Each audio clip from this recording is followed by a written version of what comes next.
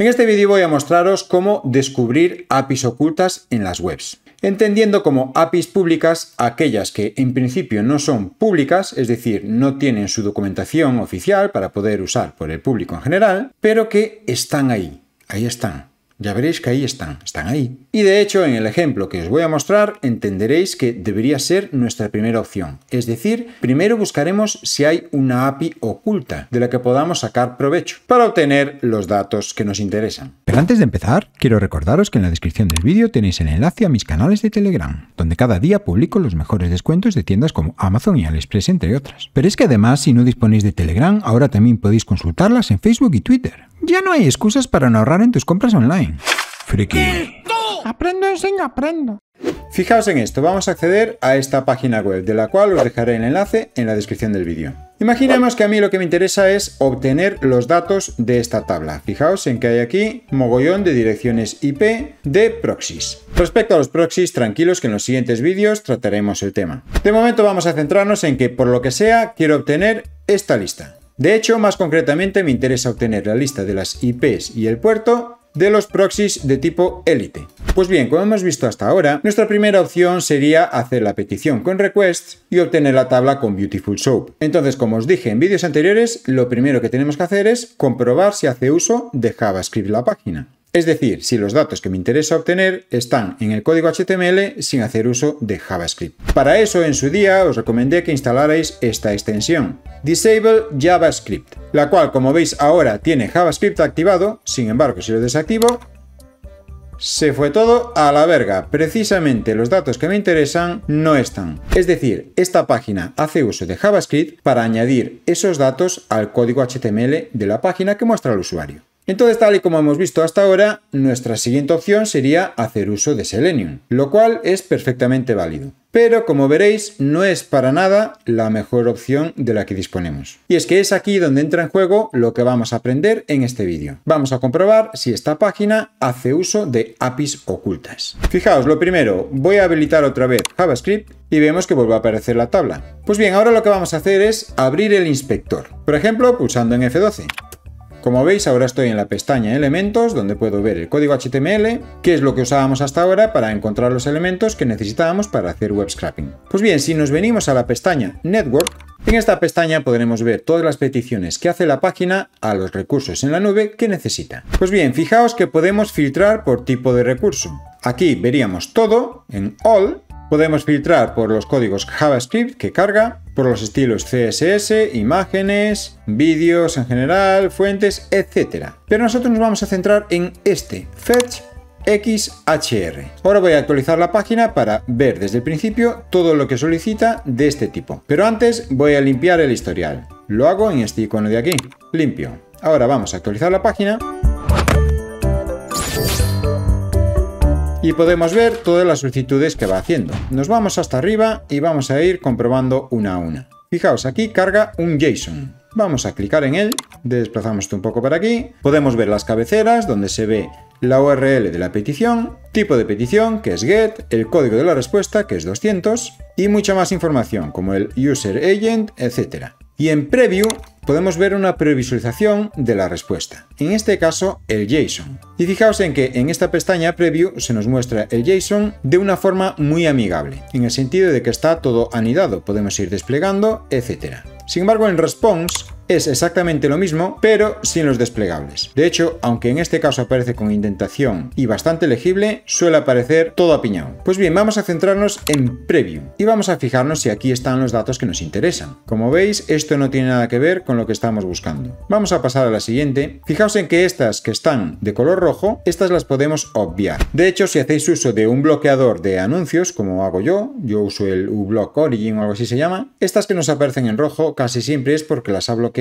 esa extensión. Así que las podemos obviar totalmente. Bien, vamos a pasar a la siguiente. Proxy table no sé qué, no sé cuánto. Fijaos. Hmm, interesante. Vamos a desplegar este que pone HTTP y voilà. Como veis, aquí tenemos todos los datos que nos interesan. Si miramos en response, pues es lo que os decía antes. Fijaos, aquí no aparecen indentados, aparece todo seguido. Así que vamos a fijarnos en preview. Pues bien, antes voy a hacer esto más grande Y como veis aquí tenemos todos los datos de la tabla, de hecho incluso mejor organizados que en la misma. Esta sería la IP con el puerto, el tipo de proxy, que aquí tres, bueno, si investigáis un poco descubriréis que tres son los proxies élite, que son los que me interesan a mí, el país, el tiempo de respuesta y el timestamp de la última vez que se ha comprobado. De hecho, si lo desplegamos, podemos ver todo más intentado, todo más bonito y todo más guay. También tenemos otro para los proxies SOX 4 y otra clave para los SOX 5. Es decir, aquí tengo todo lo que me interesa. Ahora la pregunta es, ¿cómo puedo obtener esto en Python? Pues bien, si nos vamos a headers, vemos que aquí está la URL de la petición, api.proxyscrape.com, etc. Tenemos incluso aquí los parámetros de la URL, country all. Entiendo que aquí en la petición le está indicando que quiere que le muestre los resultados de todos los países. Fijaos que el servidor es incluso Cloudflare, lo cual me hace saltar todas las alarmas, pero aún así lo voy a intentar. Tenemos aquí más cabeceras de la petición e incluso el User Agent. Pues bien, lo que voy a hacer es intentar hacer esta petición con requests a ver si obtengo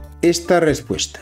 Y de hecho lo voy a probar directamente en el intérprete interactivo de Python. Vamos a importar requests, vamos a añadir un user agent a los headers por si acaso, la URL de la petición sería esta y vamos a realizar la petición, que voy a guardar en res por ejemplo. Hacemos la petición a la URL, configuramos los headers y un tiempo de respuesta de 10 segundos por ejemplo. Fijaos que rápido me ha llegado la respuesta. Vamos a ver si la respuesta es correcta. Código de respuesta 200. Esto promete. Pues bien, vamos a ver el texto de la respuesta. Como veis, aquí tengo todos los datos. El texto de la respuesta, obviamente, es un string. Este string realmente es un JSON. Y como sabéis, podemos cargar ese JSON como un diccionario. Y es tan fácil como aplicar el método JSON a la respuesta. Es decir, res JSON. Esto que tenemos aquí ya es un diccionario tal cual de Python. Pues bien, ahora que ya sabemos que funciona, vamos a meter todo esto en un programa. De hecho, vamos a centrarnos en lo que estoy buscando. A mí lo que me interesa es obtener una lista de los proxies que sean de tipo Elite. Solo me interesa la dirección IP y el puerto. Es decir, voy a crear una función que me va a devolver una lista de los proxies con su puerto solo de los de tipo Elite, nada más. Y en principio solo necesito usar la librería requests, así que la importo. Definimos la función, que en este caso le voy a llamar lista proxies proxyscrape y que va a devolver una lista de los proxies elite, como os decía. Vamos a definir los headers, que nunca está de más, el user agent, como siempre. La URL de la petición es esta y realizamos la petición. Esto es exactamente lo mismo que acabo de hacer en el intérprete interactivo de Python. Ahora guardo en la variable datos el JSON convertido a diccionario. Y como voy a filtrar los datos de ese JSON, voy a inicializar la lista de salida, es decir, la lista de los proxies que me va a devolver esta función. El JSON que nos devuelve esta respuesta no es especialmente complejo. Aún así, yo siempre utilizo una web que se llama Code Beauty y que creo que ya hemos visto en vídeos anteriores. En cualquier caso, vamos a verlo. Lo primero que voy a hacer es irme a la pestaña Response y ahora hago clic aquí dentro, le doy a Control A para seleccionar todo el texto, Control C para copiarlo y ahora me voy a la página de Code Beauty, que os dejaré el enlace en la descripción del vídeo.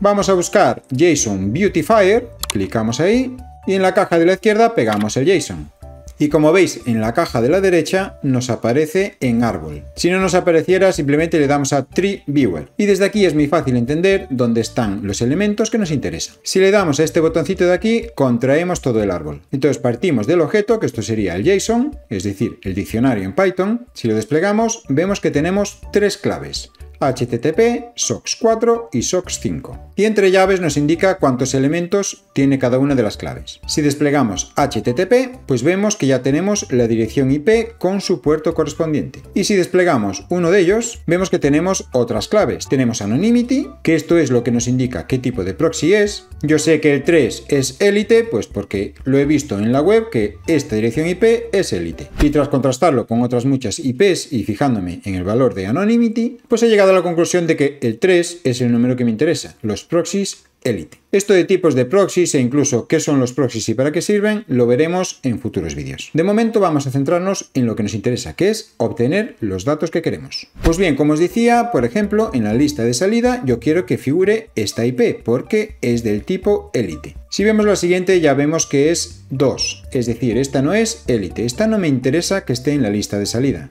Bueno, y así sucesivamente. Y de hecho me interesa que en la lista de salida estén los proxies que están en esta clave HTTP y los que están en SOX 5. Los de SOX 4 no me interesan. En siguientes vídeos ya os diré también por qué. Pues bien, ¿qué es lo que tengo que hacer? Pues primero será recorrer esta clave e ir añadiendo en la lista todos los que sean de tipo élite. Por cierto, si hacéis clic en una clave, por ejemplo en esta, timeout, vemos arriba la ruta que hay que seguir para llegar a ese valor. Es decir, obviamos lo que es object, porque object es el JSON en sí. Entonces la primera clave sería HTTP, la siguiente clave sería esta IP y la siguiente timeout. Sabiendo esto, volvemos al código de Python. Pues bien, entonces lo que tengo que hacer es lo siguiente. Recordad en la variable datos es donde tenemos el diccionario. Pues bien, vamos a recorrer del diccionario datos la clave HTTP y vamos a recorrer los ítems, los cuales desempaquetamos ya en las variables K y V, de key y value, es decir, la clave y el valor del diccionario. Entonces, si es un proxy élite, es decir, si la clave anonymity del valor es igual a 3, esto es porque es un proxy élite. Entonces, por supuesto, lo añadimos a la lista de salida. ¿Y qué añadimos? Pues la clave, porque la clave es la dirección IP con el puerto del proxy. Y con esto ya obtenemos los proxy élite de la clave HTTP. Pero como os decía antes, yo quiero los de la clave SOX5 también. Entonces hacemos exactamente lo mismo con la clave SOX5. Duplico esto, sería para los SOX5 y aquí la clave sería SOX5. El resto es exactamente igual. La estructura del JSON es idéntica en todas las claves raíz. Y una vez hecho todo esto, pues simplemente esta función devuelve los proxies, es decir, la lista de los proxies. Tal que así. Bien, ahora vamos a definir main. Y en main, pues simplemente vamos a hacer uso de la función que acabamos de crear. Vamos a guardar la lista que nos devuelve en la variable proxies. Vamos a hacer un print de esa variable e incluso vamos a mostrar cuántos proxies contiene la lista. Es decir, total y lem proxies. Guardo y ejecuto y a ver qué pasa. Lo ejecutamos y como vemos, en un momentín de nada tenemos nuestra lista de los proxies élite, tanto HTTP como SOX5, e incluso sabemos que tiene 157 proxies. Como habéis visto, de esta forma obtenemos lo que queremos súper rápido y con el mínimo consumo de recursos posible. Y os sorprendería la de webs que hacen uso de APIs ocultas. Es decir, APIs ocultas es como le llamo yo. ¿Por qué? Porque yo creo que están así un poco ocultas, por eso le llamo yo así. Pero vamos, que seguramente su nombre técnico no será APIs ocultas, será mm, APIs que están por ahí, por ejemplo. Y esta es solo una de las razones por las que este bot que os mencioné aquí devuelve la respuesta tan rápido. Casi casi todos los supermercados online que consulta hacen uso de APIs de este tipo. Resumiendo, cuando querramos obtener datos de una web, esta debería ser siempre nuestra primera opción. Es decir, salvo que disponga de una API pública documentada, que en ese caso sí que sería la primera opción, pues lo siguiente que deberíamos investigar es si hace uso de estas APIs ocultas. Y esto es todo, eso sí, os voy a adelantar que en el siguiente vídeo trataremos más en profundidad esto de los proxies. Espero que os haya gustado, recordad compartirlo y si queréis que pique, pues dale like. Vamos, chavalas.